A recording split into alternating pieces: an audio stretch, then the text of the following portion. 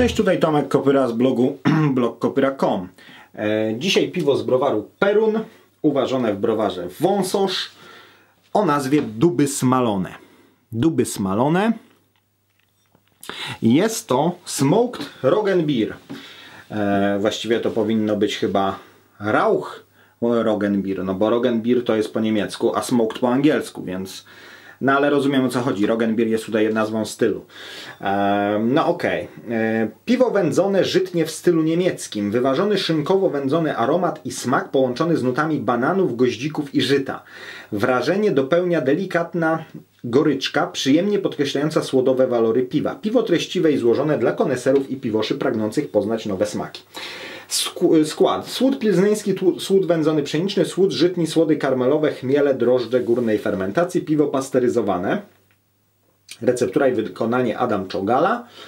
E, browar Perun wyprodukowano dla BR Perun.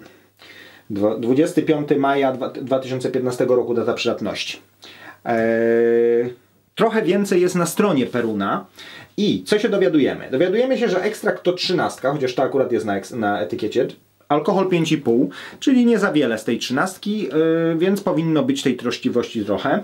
E, dalej, dowiadujemy się, że e, słodów żytnich jest 20%, natomiast słodów wędzonych jest 25%. E, a chmiele to Junga, polski chmiel i Hallertauer Tradition, niemiecki, taki właściwie też goryczkowy. E, drożdże WB0 jest napisane, ale wiadomo, że chodzi o 0,6, czyli drożdże typowe do piw pszenicznych, do wajcenów, mają wnieść nuty goździka, bananów. E, no i skąd, skąd nazwa? Skąd nazwa? Otóż, otóż e, duby smalone najczęściej są um, cytowane czy, czy przywoływane jako fragment wiersza Romantyczność Adama Mickiewicza. Pozwólcie, że zacytuję wieszcza. Dziewczyna duby smalone bredzi, a gmin rozumowi bluźni. E, może bardziej jak powinienem na, na Daniela. Dziewczyna duby smalone bredzi, a gmin rozumowi bluźni.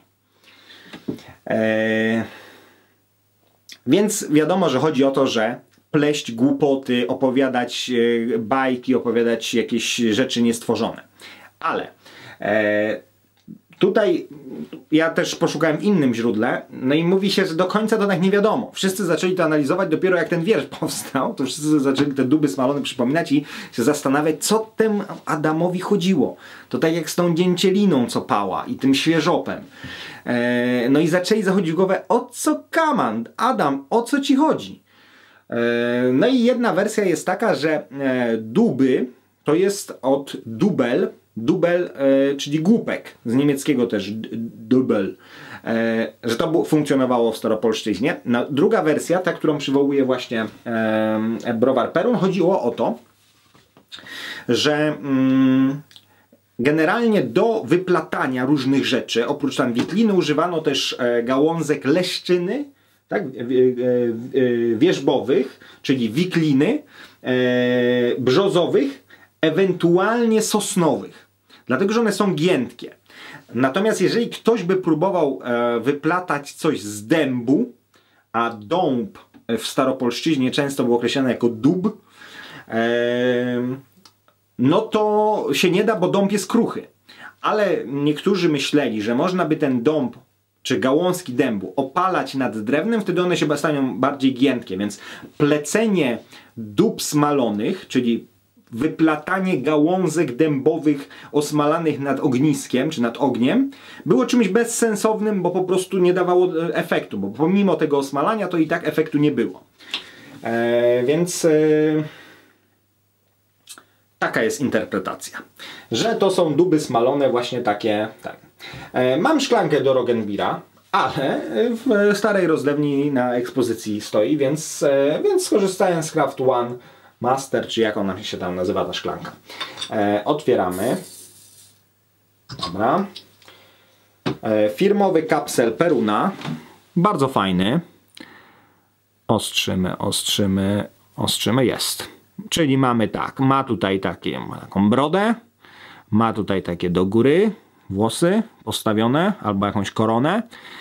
E, ma oczy takie i ma tutaj takie, prawda, piorunki od niego idą, bo to jest perun.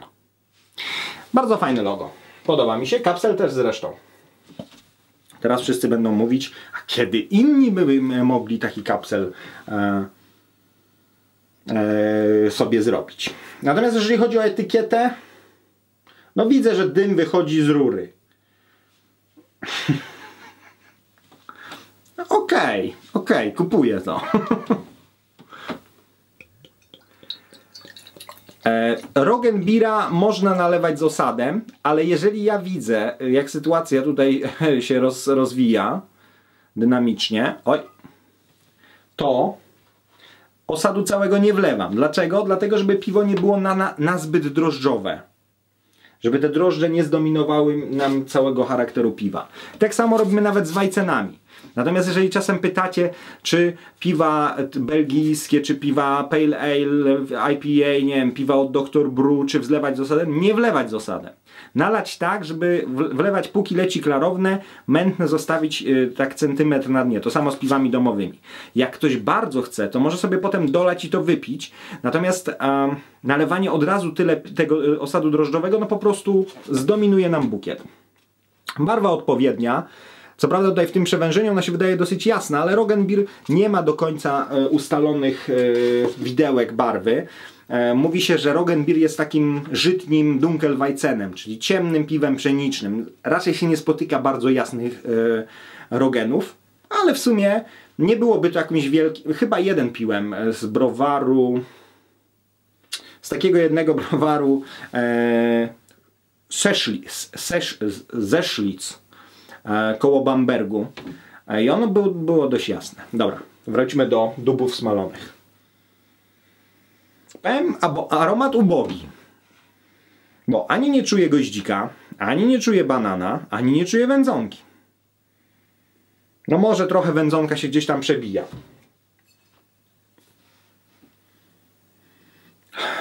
Może lekki goździk. O, teraz wędzonko tak, jak tak za, zaciągnąłem nozdrzem z dna, to trochę jest, trochę jest wędzonki.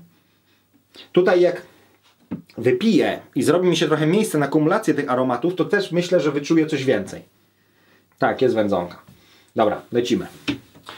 Mm, barwa odpowiednia, odpowiednio zmętniona, piana niezbyt obfita, ale bardzo ładna, drobna, nawet już się zaczęła e, osadzać tutaj na ściance szkła, także jest dobrze.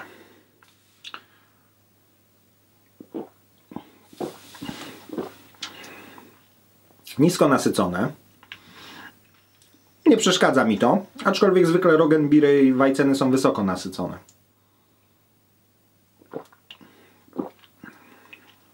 Jest wędzoność. Tam na, mm, na stronie Peruna użyli takiego fragmentu, że niech naszą słodką tajemnicą pozostanie dlaczego duby I tak sobie pomyślałem, że może dlatego, że użyli słodu wędzonego drewnem dębowym, a nie drewnem bukowym. Bóg daje bardziej takie nuty szynkowe, e, dąb daje bardziej nuty o, drewniane, trochę może ogniskowe, trochę nawet ocierające się o takie już prawie że torfowe nuty. E, takim klasycznym przykładem jest Schlenkerla.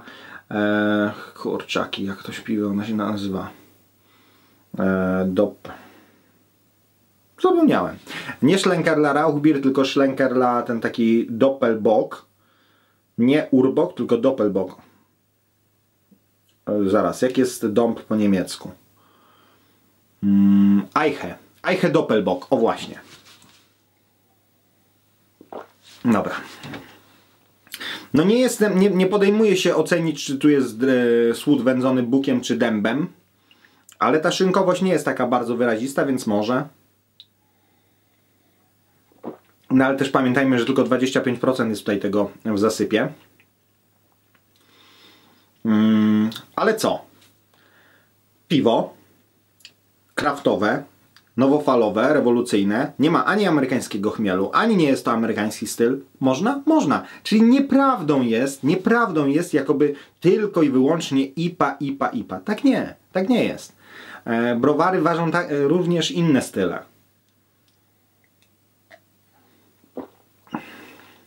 No i oczywiście wielki plus za to, że w Polsce się dymi, że wędzone piwo, dymione piwo e, z browaru kraftowego. Myślę, że to może być nasza specjalność. Ta wędzonka tutaj jest naprawdę dla początkujących. Znaczy dla mnie jest jej zdecydowanie za mało. Ja lubię, kiedy tej wędzonki jest po, po, po sufit, tak jak w borsuku. Nie bez kozery założyłem tę koszulkę. Chodzi o lokowanie produktu, gdyż borsuk właśnie trafił na rynek. Kolejna warka. Jest bardzo mocno wędzona, bo wręcz prawie, wydawało mi się, że prawie, że torfowa jest. A nie używaliśmy słodu wędzonego torfem, tylko bez malc. No ale wracając do piwa. Dobre, Chociaż no nie ma e, tego efektu wow, nie ma po prostu efektu zniszczenia, nie ma efektu masakry, kubków smakowych, e, po prostu pozostawienia człowieka w stanie stuporu, e, nie piłem jeszcze czegoś tak fantastycznego, no nie ma tego, jest ok, jest ok. Jest wędzonka? Jest. Goździkiem? Jest? Nie ma. Albo bardzo mało, może trochę więcej banana niż goździka. No, mogło być lepiej, mogło być lepiej. Znaczy, szczególnie mogło być lepiej, jeżeli chodzi o, o goździkowe nuty. Na- Znaczy, tego rogena tu jest trochę mało. Natomiast wędzoność jest, wędzoność jest i... Co do żyta, to jest lekka taka aksamitność, gładkość tego piwa, więc no tutaj jakby zrobiło, zrobiło to żyto robotę.